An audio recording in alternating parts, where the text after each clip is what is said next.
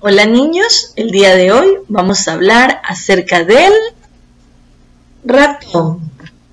El ratón tiene un cuerpo muy pequeño cubierto por pelo. Su pelo puede tener diferentes colores. Su nariz es pequeña y tiene una forma redondita. Su colita es larga y en su cola no tiene pelo puede medir entre 15 y 20 centímetros de largo y pesan entre 20 y 30 gramos. Algunos ratones que viven en lo silvestre se pueden encontrar en madrigueras, en campos o en nidos. Algunos, algunas personas les gusta también adoptarlos y tenerlos en su casa. Cuando se meten a las casas, ellos prefieren los sitios oscuros. Además, se introducen en las casas por medio de huequitos. El ratón es muy comelón, pero no crean que solo come queso.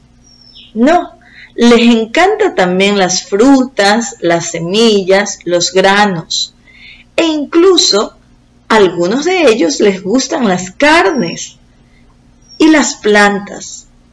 Eso quiere decir que son omnívoros.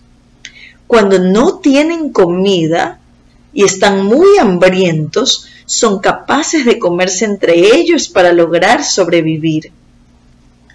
Un ratón come entre 15 y 20 veces al día.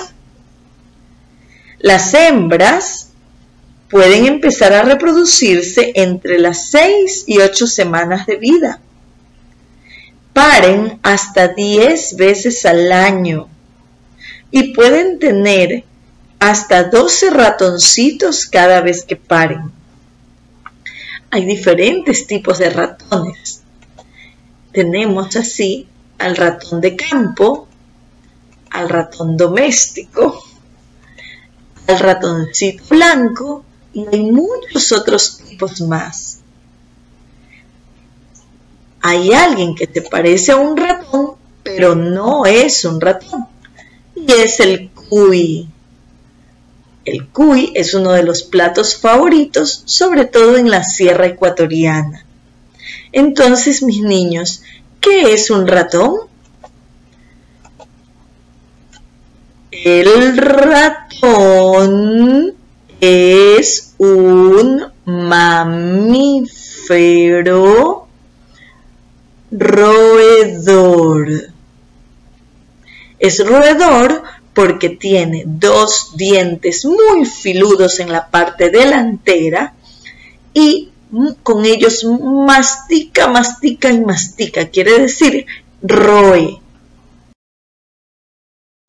Entonces, ¿Cuántos sonidos tiene la palabra ratón? Vamos a ver. Ratón. Uno, dos, tres, cuatro, cinco sonidos tiene la palabra ratón. Ahora vamos a decir una oración con la palabra ratón. Por ejemplo, el ratón es un roedor. ¿Cuántas palabras dije? Cinco palabras. Muy bien. ¿Y en cuál de estos círculos está la palabra ratón? Muy bien, aquí. ¿Y qué pasa si yo quito la palabra ratón? La cambio por gato. Diría, el gato es un roedor. ¿El gato es un roedor? No, el gato no es un roedor, estaría muy mal esa oración. ¿Y qué tal si en vez de ratón digo conejo? El conejo es un roedor. Bien, sí, sí, porque el conejo también roe con sus dientes.